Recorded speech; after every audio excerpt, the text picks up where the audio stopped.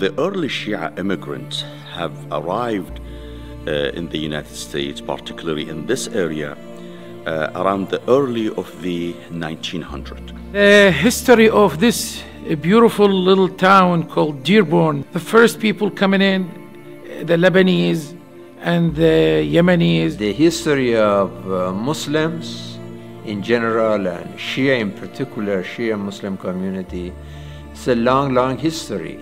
Uh, is over 100 uh, years now. What we see today is something that we have not been able even to dream of some 50 years ago.